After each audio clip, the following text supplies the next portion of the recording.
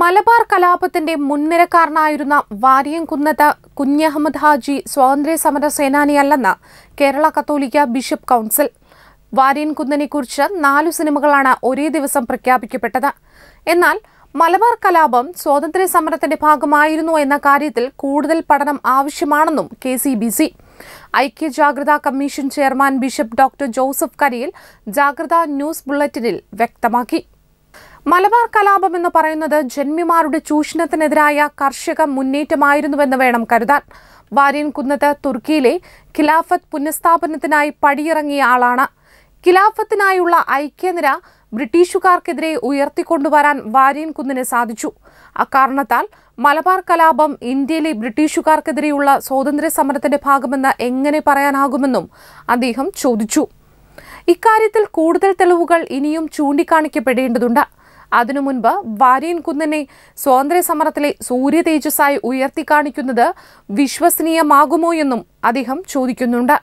ക്രിസ്തു മതത്തെ അവഹേളിക്കുന്ന വിധത്തിൽ സമീപകാലത്ത് പുറത്തിറങ്ങിയ സിനിമകൾക്കു പിന്നിൽ തീവ്ര സ്വഭാവമുള്ള ഷാഡോ പ്രൊഡ്യൂസേഴ്സ് പ്രവർത്തിക്കുന്നതായും അദ്ദേഹം പറയുന്നു.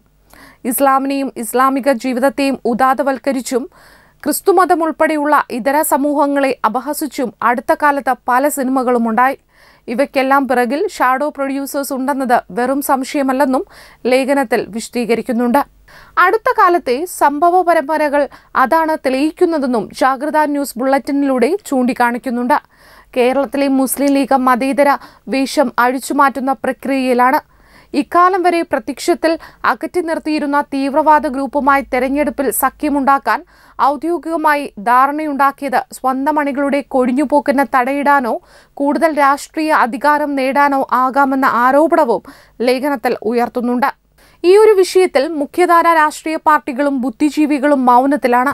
പ്രത്യക്ഷത്തിൽ അഭിപ്രായ ഭിന്നതയുള്ളപ്പോഴും ഇവർക്കും തീവ്രവാദ പ്രസ്ഥാനങ്ങൾക്കുമിടയിൽ സജീവമായ അന്തർധാര നിലനിൽക്കുന്നതായും ബിഷപ്പ് ഡോക്ടർ ജോസഫ് കരിയിൽ ആരോപിച്ചു.